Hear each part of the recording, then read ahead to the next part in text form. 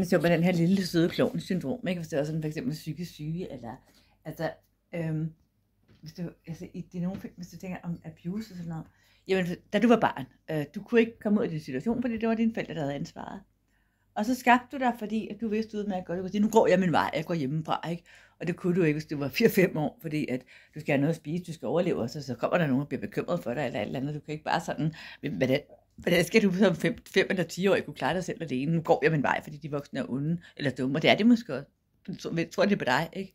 Og hvem kan du snakke med og sådan noget, men okay, og så er du måske voksen, er du så også stadig magtesløs, ikke? Fordi du stamper i jorden, du er barnlig, du skæver dig, øh, du opfører dig tåbeligt og fjollet, sådan. Skulle det hjælpe noget? Øhm, okay, kan du ikke bare ændre din situation? For du er voksen jo. Altså, du er voksen og ansvarlig, så kan du bare ændre situationen. Så skulle der vel ikke være nogen øh, grund til at rende rundt og opføre sig og skæve sig og opføre sig altså tåbeligt. Eller er der? Hvorfor render voksne mennesker rundt, hvis de ikke ligefrem har en diagnose, hvor de virkelig ikke kan gøre for det?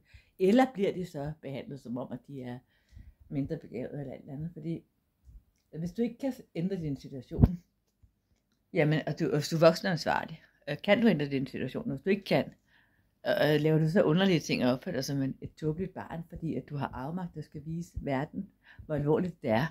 Og, og tager verden der alvorligt, eller er det endnu sjovere, en eller anden lille voksen lille, øh, voksen lille øh, LORT, som render rundt og opfører sig sjovt og barnligt. Øh, er det sjovt? Øh, fordi øh, så er det underholdnings, og så er det ligesom den der øh, fugle i Christian 4. Hvis han ikke var sjov, jamen så skød man ham jo ind i riddersalen, ikke? Fordi øh, så fandt man bare en ny jo, fordi kongen skulle underholdes. Og det er jo sådan, nu jeg var jeg meget sarkastisk, ikke?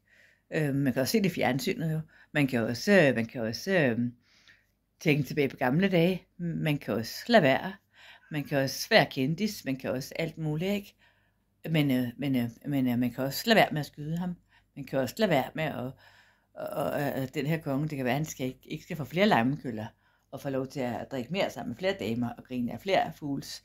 Og det kan være, at øh, øh, man skulle begynde at sådan, ja, øh, klappe for øjet og så videre, ikke? Øh, det kunne også være en gang imellem, at, øh, at man skulle høre på den her lille fjollede, sjove, søde øh, øh, hofnar, ikke?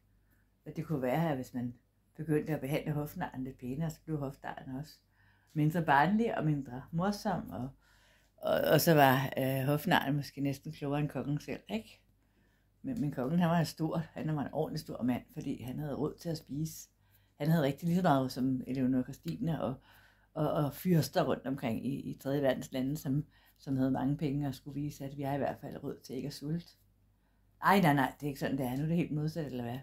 Så render du der rundt og spejler dig hele tiden. Øh.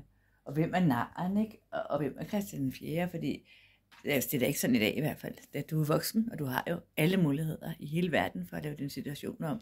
Så du behøver ikke at tænke dig på den der måde her.